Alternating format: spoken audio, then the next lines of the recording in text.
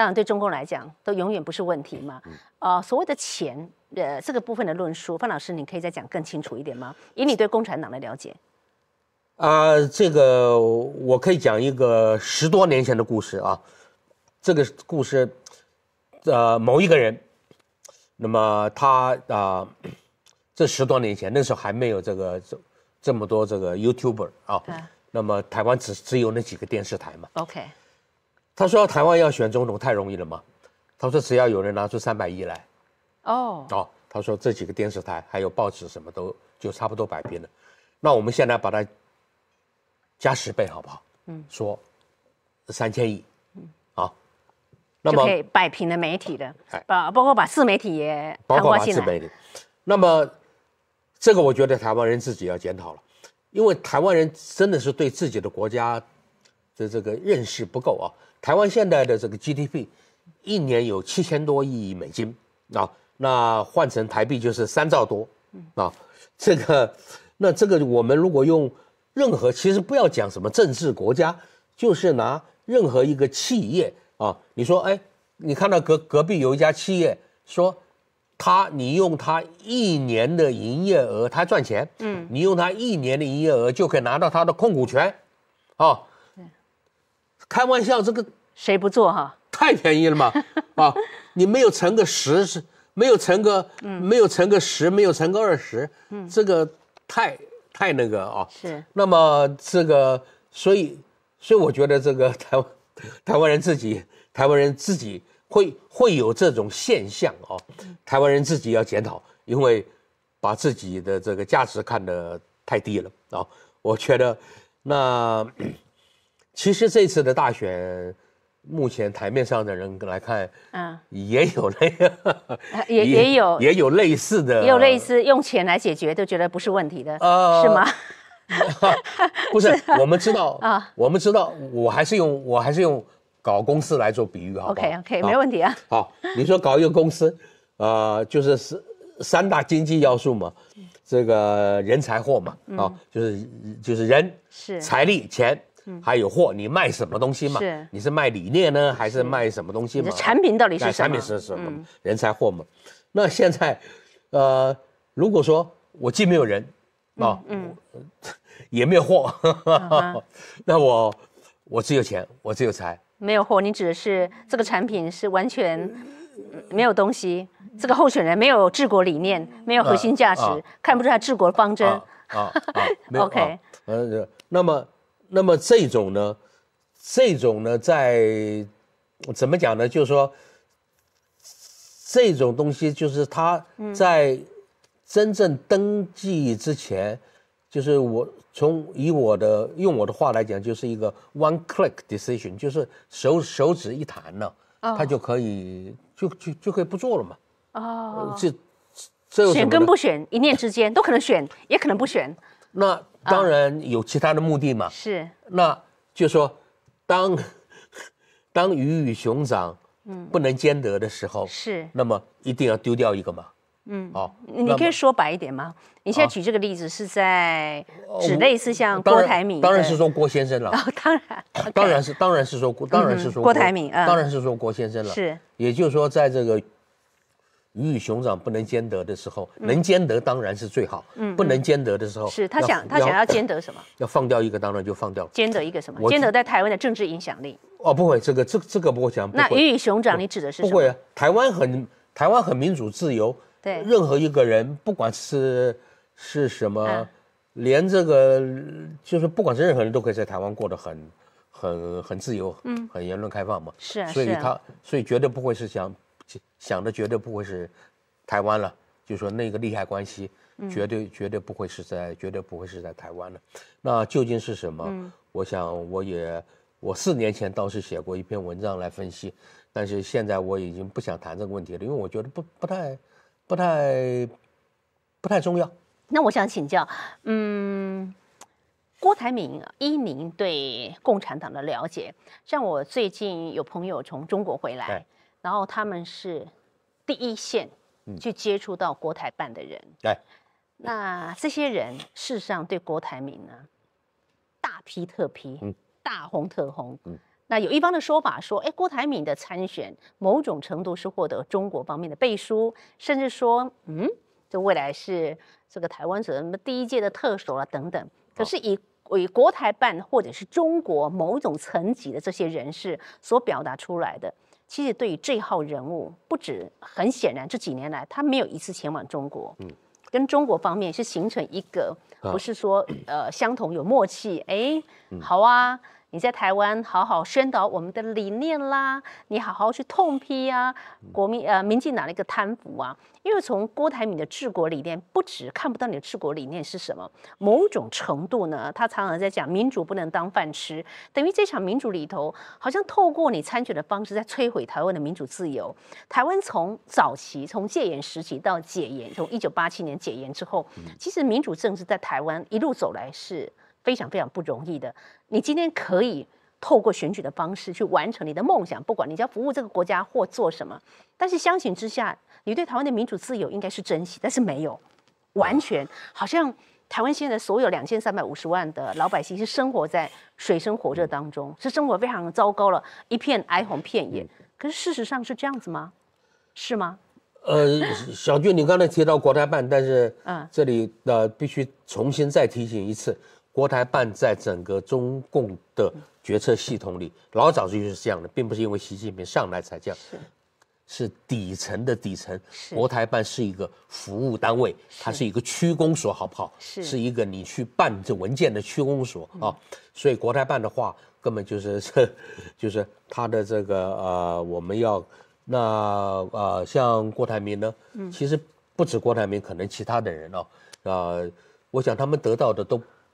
不是国台办的这个 OK，或者说，或者说这个这个这个怎么讲鼓励了？嗯嗯嗯，一定是 当年的或者现在的某些这个可以可以这个一拍桌子就把事情办成的这的人的这个啊的的的的这个力量的的推力，嗯啊，那么呃。所以呃，那所以中国人怎么看侯台呃郭台铭的参选？比如说，比如说郭先生，我完全听说，好不好？完全是听说。听说啊，一段期间，嗯，之前，比如说像王岐山曾经呃鼓励过他参选。哦，好，那这个当时以王岐山的显赫是，那就不一样了。但是。今天习近平，嗯，鼓不鼓励他参选？Nobody knows，我也不知道。嗯，啊，我不知道。所以，所以我说这个永远是一个，所以我说，他这是一个凡是钱能解决问题的事情都不是问题。这是一个 one click decision。他到时候他说不选就不选了，了不起是，了不起是赔个九十亿嘛？是这个算什么呢？啊，所以。所以这个，嗯，所以我一直讲说，现代局都还不是局了。那呃，九月中也许可以看下去，也许可以说是比较。如果一直到十一月，以一个企业家要并购，我一度要并购国民党，成为我唯一的候选人，不是侯友谊，是国民党征召我。他现在看起来有难度了，侯友谊不可能。所谓的。郭跟侯之间，我觉得不太可能。在金普聪出现之后，这种歧视鲜明。我的政党政治，我站到最后一刻，我都是要勇往直前，我不可能突然间弃械投降的。那这个部分，国民党要走自己的路。那郭台铭很显然，他要把目标转向去并购柯文哲。柯文哲也说，他要选到底。民众党要走自己的路。三方势力的状况底下，以客观环境，一个企业家会去想。那我我的参选，我的成功力道，我的当选几率其实是不高的。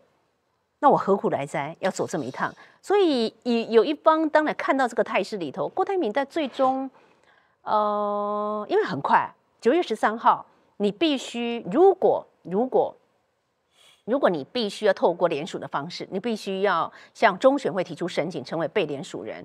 其实，在不到一个月的时间，他必须要表态。当然，到最终你联署成功之后，范老师特别提到的这一号人物，也有可能在最后一刻他不会去登记，我不选了。也许他会想，我选不上，可是你会成为历史罪人，嗯，国民党的战犯。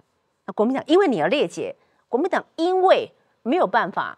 呃八年完成政党轮替，那个时候郭台铭在国民党蓝营的支持者当中，你会变成什么样的一个角色？种种的考量之后，印证一个不约而同的方向，几率很高，郭台铭是极有可能不会参选的，是吗？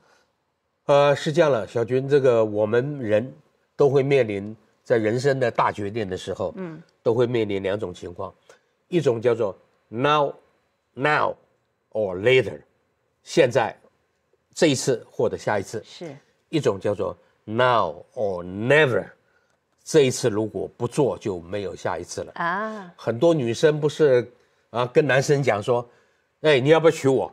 啊，it's now or never。你今天你不说要，咱们就不用再交往下去了。OK，所以这个就是啊。那么我们看看二零二零年的时候，比如说赖清德先生，他最后选，他一开始的表态是 now or never。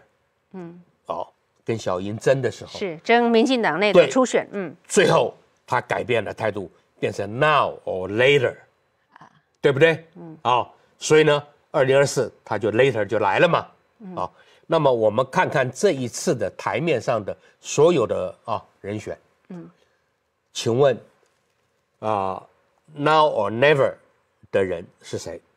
有哪一个人从年龄上，嗯，从他的背景上，从他上面是柯文哲吗？不是，柯文哲今年六十四岁，嗯，啊，他有民众党，他有个党，是。哦。他今年如果政党票再拿五趴，他还有，他下一次还有，嗯，二零二八继续再选，对他还有，甚至二零三二继续选啊。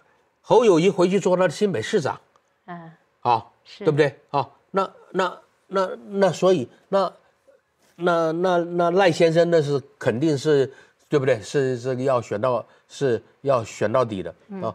那但是赖赖先生难道民进党难道下一次就没有机会了吗？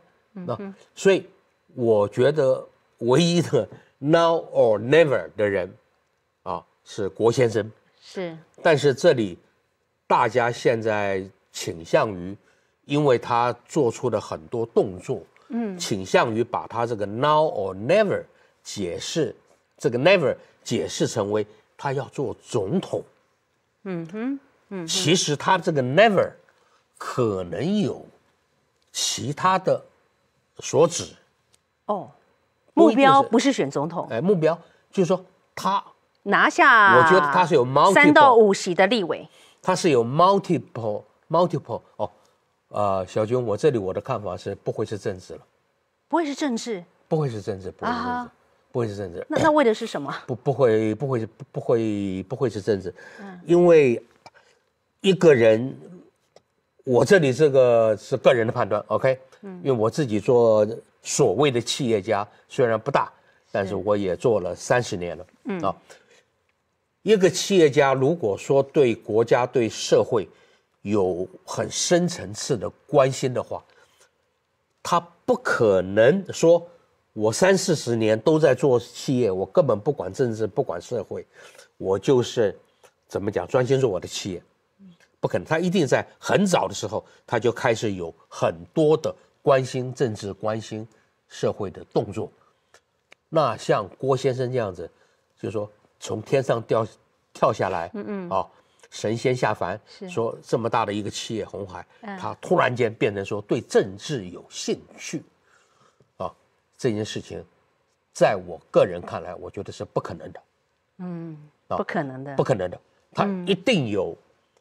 多重目标，multiple，他有有多重目标，嗯。啊，啊，当然说从政总统是他的其中之一的目标，但是这个做总统也不叫做从政了，你知道，小军从政是我们要怎么讲，已经有决心说，呃，这一辈子要贡献给政治啦，什么什么诸如此类。嗯，但是郭先生的一句名言是，二零二零就讲了嘛，二零二四又讲一次。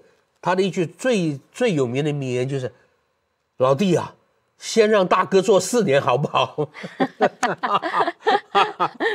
他没有，所以四年前对韩国瑜说，现在继续对侯友谊说，啊，甚至对柯文哲说 啊。那么，所以呢，嗯，他没有说要做八年、十二年、十六年。是我跟你讲，这个习近平是真正有政治，我不敢讲说理想，就是 commitment，就是有坚持性的人，他是要做一辈子的。他是他，你民调比我低，凭什么老大哥？我这个小老弟要让给你，更何况谁是老大哥都很难说。习近平当年没有跟，没有跟其他人，其他的没有跟薄熙来讲说，哎，先让先让大哥做四年好不好？所以他太天真了吧？啊，你要从政，你基本上对于很多政治事务的了解根本不透彻。那我我只能说，他就是说郭先生他是有多重多重目标啊。嗯，那么这个可能有。两个、三个，We don't know。我我觉得你要参选，你有多重目标，那那都无所谓，因为本来每一个人都为自己的理想嘛、自己的梦想而努力。那重点是说，站在一个民主政治当中，你的核心价值有没有？我我觉得从政的初衷很简单，每一个政治人物的从政都有自己的初心，这个初心是建立在一个民主政治。我的参选，我怎么让国家社会可以更好？我可以服务更多人，而不是说我的参选我不惜任何的方法。我就是要当选，我不择手段要摧毁民主政治就要当选，那这个是从政的初心吗？呃，我是觉得郭先生也不至于如此了啊。是，但是呢，我这里我想跟你分享一个我对台湾台面上高级政治人物，就是说啊，就是不管哪一党啊，高级政治人物他们的晚上在睡觉之前，他脑子里在就是这个担忧是你我都不会有的担忧。哦，是啊。他们都会在想一件事情：万一有一天老共占领了台湾，我会怎么样？他们会把我怎么样？万一有一天老共倒台了，嗯，哦，老习这个拜拜了，老美这个对台湾的政治有更进一步的影响力了，嗯，我会怎么样？他们对我的看法会怎么样？我安不安全？啊，啊，都有，嗯。是的，这一点是你我你我不会，我们我们啊，我们没有，我们没有去担心这些事的。如果位居呃大位者，只想到自己，这个人还适合从政吗？这个人还适合位居这个大位吗？但是这是台湾的地缘因素，还有说目前的这个地缘现实就是这个样子，所以大家脑子里都会有这样的。都都都会有都会有这样的都会有这样的这，OK，我们控制不了他的大脑吗？他要以他自己的角度去思考这个台湾的未来，我我们当然无可控制，尊重他。然后呢？啊，是，所以然后呢？所以我觉得话很快的，啊，这个收回来，就是说，我觉得台湾的未来、台湾的前途、台湾的主体性，嗯，就是真正是在台湾人民自己相当一个。一定比例的人民，我想这个至少要到百分之六十七十以上啊，就是台湾的人民，我一直讲要转大人了，是。或者不能做妈宝了，嗯嗯，啊，你要保卫你自己的土地，你自己的家乡啊，这个这个台湾的人民的主体性，嗯，才真的才是台湾未来几百年的立足的这个是根本的。我们如果把年轻一代哈视为台湾的一个新政治势力的话，范老师这边怎么看年轻世代的一些政治伦理跟人设关系？这部你怎么看？呃，我是知道有很多很中规中矩的人，比如说社会上这个专业人士啊，他很努力的学校读书，他也很努力。他现在看了很多这个台面上的这个政治人物，尤其是年轻的一代啊，有些是官二代。有些是富二代，有些是土豪二代，对不对啊？或者有人叫他黑二代，他们看的是很不顺眼，觉得说台湾的未来的政治要垮台了。就是以前的老一辈的，虽然也有黑的，也有这个，也有那个的，但是好像有某种伦理的存在。而现在新的一代，好像这个伦理就说没有 没有一个规则。可言的，所以他们很担心台湾的未来。但是我个人的看法是很不一样。我个人对台湾未来的政治，哈，我觉得是充满了信心。为什么？嗯，因为我觉得现在台湾的政治已经走到了一个这个互相制衡的这个互相制衡的这个地步啊。那么啊，我曾经，其实我曾经十年前。写过一篇文章，我一直到今天我还是认为这是对的。就是我认为台湾的精神，我把它叫做平民三精神。什么叫平民三精神？嗯，就是一般的人平民啊。第一个叫做谁怕谁，台湾人没有没有人在怕谁的，谁都不怕，谁都不怕谁，谁怕谁。但是第二个叫做人不能欺负人，就台湾人很奇怪，他你不要看他平常怎么样，但是如果你在路上你有你见到一个男人打女人，你看看，很多人很多人就会见义勇为，就会见义勇为，人不能欺负人哈。第三个，台湾因为长期受了各种殖民地的关系哈，这个从日本人呐，什么荷兰人、日本人的，然后西班牙了，呃，西班牙，然后郑成功到到了国民党啊 啊，这个殖殖民地，就台湾人已经是与。永远不不相信绝对权威，他永远要留一手，你知道，他税他要能够能够省一点偷一点他就偷一点，所以他有不安全感，他有不安全感，所以呢，谁怕谁，人不能相信人啊，不是人不能欺负人，永远不相信绝对权威，这三点就跟那个小军就跟那个阿西莫夫亚阿西莫夫写那个机器人三原则，你知道，你这三个逻辑一扣起来哈。所有的民主、自由、法治的原则，都可以从这个平民三精神里面推论出来。谁怕谁？这个就是自由嘛，对不对？那但是人不能欺负人，这个就有啊法治了嘛。人永远不能相信这个啊绝对的。权威，这个就有权力的制衡了嘛？是，所以所有权力、所有的民主、自由、法治的这个道理，都可以从我讲的这个平民三精神里面，那导演出来。而台湾的平民三精神，是存在于这个摊贩、存在于一般人身上的啊。所以我是觉得，只要假以时日啊，那么呃，让让台湾现在的这个正二代。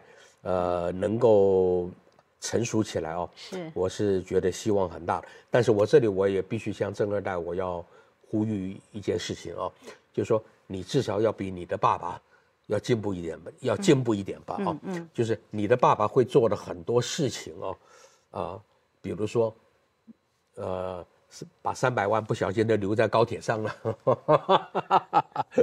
就是说你爸爸很多做起来理所当然的事情。你做起来，你要这个，嗯，心里要有顾忌了。是，就说你这个总要这个所谓在正派这件事情上面哈，总要。比以前进步一些了。嗯，呃，正二代的参选在台湾的政坛，尤其在今年还是所在多有啊。我我相信，嗯，不管呃你的上一辈可能承袭是一个很丰沛的一个政治资源，或者是你的实力，或者是说因此留下一些包袱，对这正二代来参选来讲都是一个挑战。但是我必须呃在最后谢谢范老师的同时，让观众们思考几个问题啊。我们过去的一些历史的记忆，也许对很多的台湾选民来讲是模糊的，但是我们不应该模糊。台湾的自由民主从来不是从天而降，而是我们的前辈一步一步步履褴褛所争取出来的。今天我们可以自由自在这个地方进行 talk show，不管是 real talk 真实对话，还是小军台湾 plus。过去在这一个戒严时期，在党国统治的时代里头。我们的任何一篇报道都可能被撤稿，甚至这个报社被停刊，甚至这个总编辑负起责任抓去关，甚至社长呢因此受到了威胁。那种种的这一种恐吓，在过去在戒严时期太普遍了。而台湾可以在解除戒严之后，在报禁开放之后，我们不受过去的。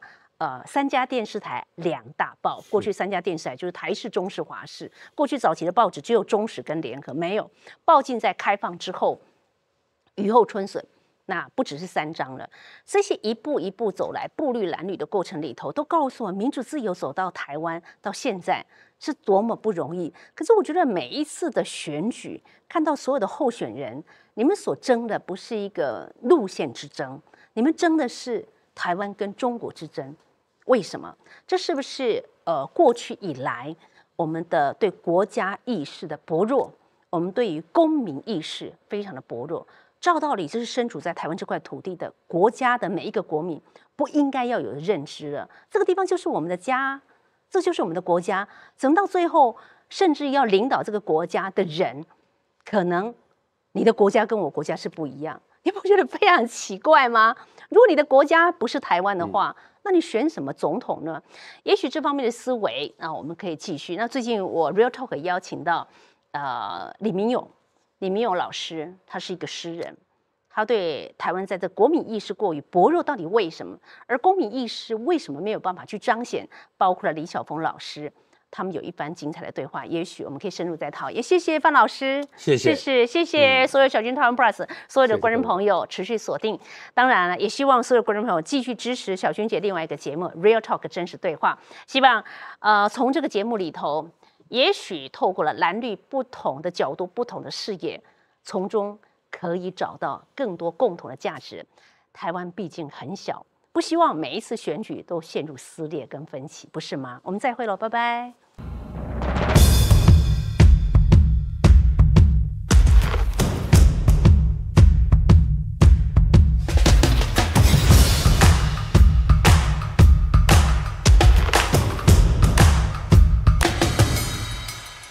大家好，我是廖小军，很开心跟大家要分享我们低调筹备多时，终于云开见日，可以大声说出的事情。我所主持全新的政论节目《Real Talk》真实对话上架了，在 YouTube 频道上架。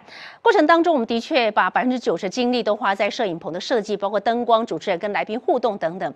挑战台这个创意跟论述内容是让每个来宾的观点清楚呈现。过程当中，你可以交流，可以交锋。当然，优质节目影响力非常重要，需要每个观众朋友的帮忙。把大家公开这个好消息，同时，也许。有人还不知道，但是众志成城，积沙成塔，请大家订阅、分享、开启小铃铛。呃，当然这个小小动作不需要花钱，但是每一个动作都是连接你我最好的一个管道。透过了订阅，每一个你们都成为我在全世界的好朋友，随时都在，随时可以开心聊天、讨论台湾的重大事件。当然可以讨论包括了国际间瞬息万变的事情。这个平台，我们彼此听见不同的立场，虽然声音立场不太一样，我们。需要这个平台一个包容多元观点的空间，彼此愿意倾听。更重要的是，每一个可以讲真话、真实对话，Real Talk 真实对话的初心就是如此。我们在关心国内外政局变动的同时，更可以认识台湾在区域安全与全球民主联盟所扮演的非常重要角色。因为我们信守台湾的价值，坚持对国家的忠心热诚，期待 Real Talk 真实对话这个平台，期待你的声音，期待。百家争鸣，百花齐放。我是廖小军。有心就有力加入我们的订阅行列多多分享让我们的声音可以传遍全世界每个角落。